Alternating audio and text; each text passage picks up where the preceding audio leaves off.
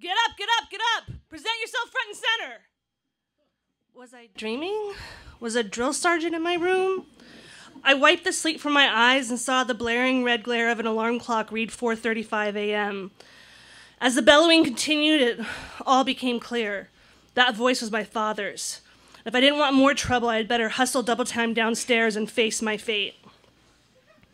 I knew this moment was bound to happen. I had gotten drunk the night before, and while it wasn't my first experience drinking, it was the first time I'd been caught. I knew life as I had known it was over. I was terrified, but had been trained to run toward the yelling. Even in the dead of night, with the brain half asleep, my body knew what to do. When a parent calls, you drop everything and instantly reply, Yes, sir, yes, ma'am, and then coming. It may have been 1986, but inside my home, my parents were waging a war to attain a perfect 1950s cooled and controlled household. 20 years in the military had trained my dad to expect absolute obedience from a subordinate, even if that was his 16 year old daughter. 20 years as a military wife had taught my mom that keeping up appearances was of utmost importance. My rowdy and drunken behavior the night before was now a chip in the veneer of our perfect family home. It had started out innocently enough. After school, I'd had a cross country meet. Katrina was my new cross country friend by virtue of us being the two worst runners on the team. I had joined the team hoping to lose some weight and maybe meet a boy. Katrina was supermodel thin, smoked clove cigarettes, and only joined the team to keep her mom off my ass about college. Our mutual goal each meet was simple don't come in last. Let there be at least one person worse than us. After the meet, I went to Katrina's to clean up and primp for a back to school dance. Katrina's mom took us to the dance, and then it gets fuzzy. Bartles and Jaymes, fuzzy navel wine cooler fuzzy.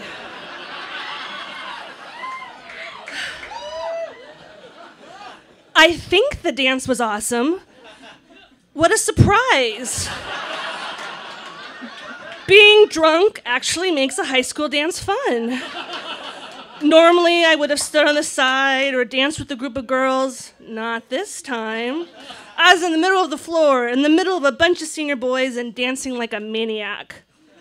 I was also sporting a new makeover Katrina had drunkenly given me that included lots of teal eyeliner and fresh paint painted on my teased blonde hair. Soon, my Bartles and Jaymes infused confidence simply, simply took over. Then the night quickly morphs into Polaroid like flashes of memory. Drinking vodka out of a baby's bottle in the girls' bathroom. Riding in a sports car. I'm sitting on the lap of some random boy. Katrina is sitting on the back seat floor by my feet. We openly pass bottles back and forth to the driver. Walking through my first high school house party, I have arrived. I am the shit.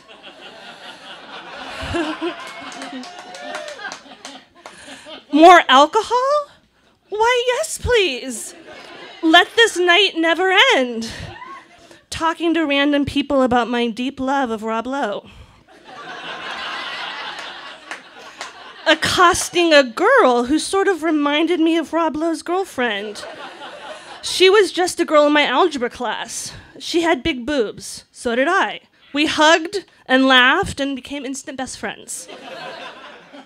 then blackness. I had become completely out of control, gotten sick, had an asthma attack. I so scared my new Rob Lowe friend that she called her older sister, who simply said, Call her parents. My new friend didn't yet know what my older friends knew. Never ever call the Joneses. My mother had picked me up in the Carl's Jr. parking lot the night before, surprised to see my new look included pink acrylic paint highlights in my hair and puke stains on my blue and white striped espadrilles. As we drove home, she asked a few questions, and after finding out that I was simply a sloppy drunk and not in immediate danger, said nothing more. When I awoke in the morning, I expected the yelling to start, but my parents said nothing. All day. Radio silence. My hangover and I had stayed in my room in a preemptive grounding. the silence was more terrifying than being yelled at. As the hours slowly crept by, I grew more anxious and paranoid. Once my brother had been punished by having to run laps and do a bunch of push ups by being yelled at. And even though I hadn't been spanked or hit in years, the threat of physical harm seemed very real as I silently sat in my room. But now, in the middle of the night, as I grabbed my Barbie pink terry cloth robe and ran toward the yelling, I felt the guillotine about to drop. Do you know why we woke you up? My dad had asked with crossed arms and a dangerous, angry glare in his eyes that I had never seen. And I had been privy to his anger plenty of times over the littlest of things rolling my eyes, leaving my dresser drawers opened, and reading in the car when I should have been enjoying the ride to the airport.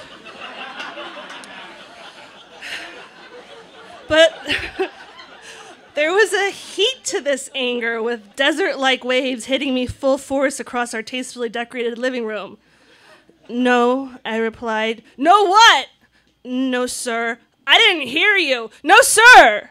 This is the exact hour we were awakened last night by a stranger. A stranger telling us our daughter was knocked down drunk and needed to be picked up.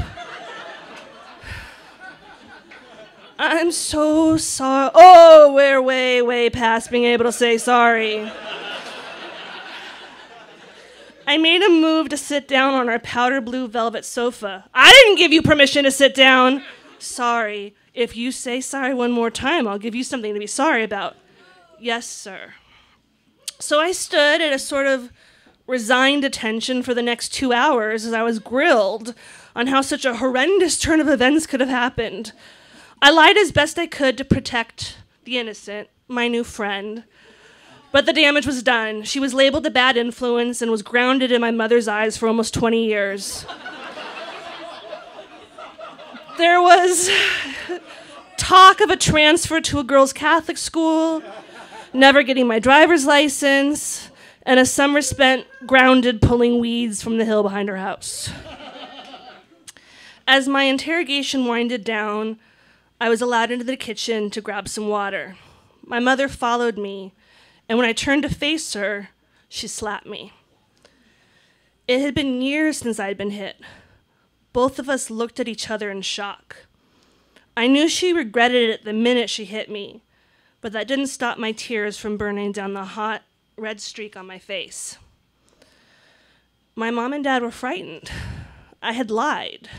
To my parents, this was a greater sin than the drinking. A military man relied on his troops to tell the truth. The truth. I may have been unenlisted, but honor, duty, and living by your word still applied to the daughter of a Bronze Star Navy veteran.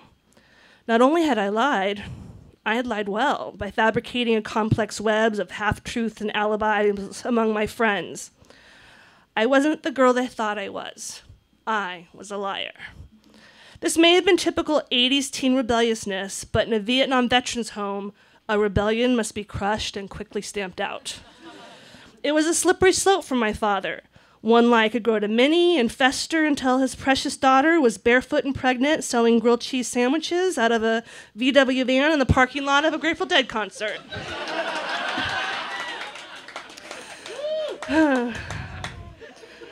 On Monday, I was forced to walk to school alone. No carpool with my best friends, a shaming punishment for any socially conscious high schooler. Except I wasn't exactly alone. My dad followed me the mile back and forth to school, scowling in his gold Cadillac, on watch for any boys or booze. Pediatricians and principals were called. My grandparents in Hawaii were informed of the family tragedy.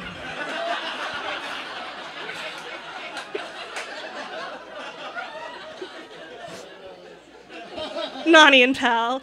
Uh, uh, it was decided that a family therapist was needed to find out why a 16 year old would lie to her parents in order to go to a party, drink, and flirt with boys.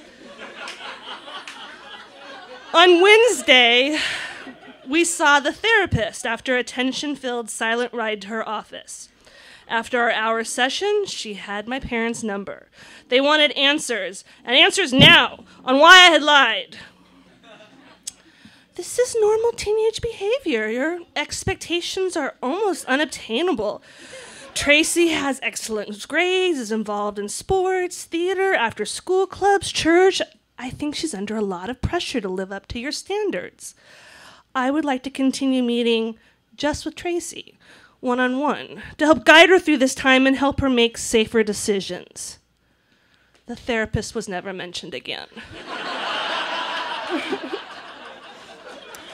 I was grounded for two weeks, a sentence one week shorter than many of my co conspirators' punishment. My parents often mentioned that time you lied, and I felt shame for letting them down. Why? Because life continued on as it had, except I became a much better liar. that one time lie became an every weekend lie. I quickly moved on from house parties to sneaking into Tijuana nightclubs with nothing more than a doctored blockbuster ID card.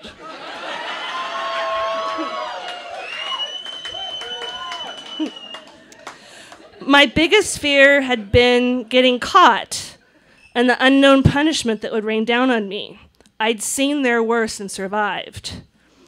If I found a little bit of freedom in sneaking a drink or smoking a joint, so be it. That slap had freed me too. My mother's instant regret, that unspoken admission that she'd gone too far, was a victory. I no longer feared physical punishment, but I made damn sure I was never caught again.